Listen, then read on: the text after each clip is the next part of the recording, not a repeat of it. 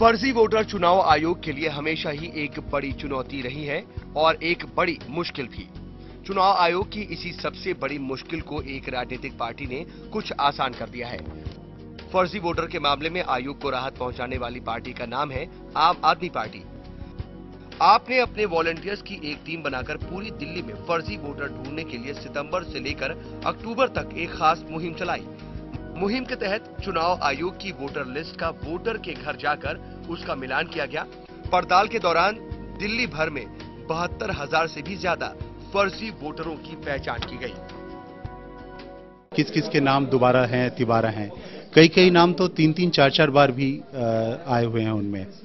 फिर ये देखा गया क्योंकि हमारे हर जगह डोर टू डोर कैंपेन हुई है तो डोर टू डोर कैंपेन के दौरान ये देखा गया कि जो व्यक्ति का नाम है वो वहाँ सचमुच रहता भी है कि नहीं रहता है। और ऐसा दो तीन बार की एक्सरसाइज करने के बाद उन्होंने जब कंफर्म किया कि यहाँ सचमुच वो व्यक्ति नहीं रहता है तो उसका नाम भी हमने फेक वोटर की लिस्ट में डाला है।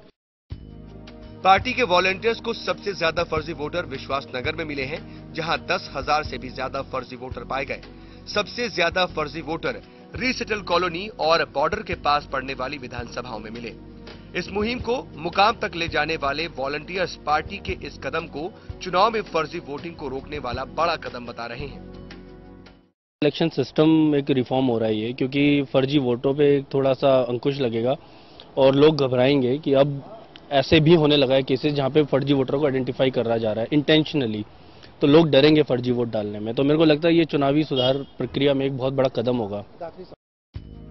आम आदमी पार्टी ने फर्जी वोटर की सारी जानकारी का डाटा चुनाव आयोग के हवाले कर दिया है। आयोग ने पार्टी को भरोसा दिलाया है कि वो पूरे डाटा की जाँच कर फर्जी वोटर पर खास नज़र रखने के लिए अपने अधिकारियों को खास निर्देश जारी करेगी। टोटल न्यूज़ के लिए दिल्ली से कैमरा पर्सन मनमोहन के साथ कुलदीप शर्मा की रिपोर्ट।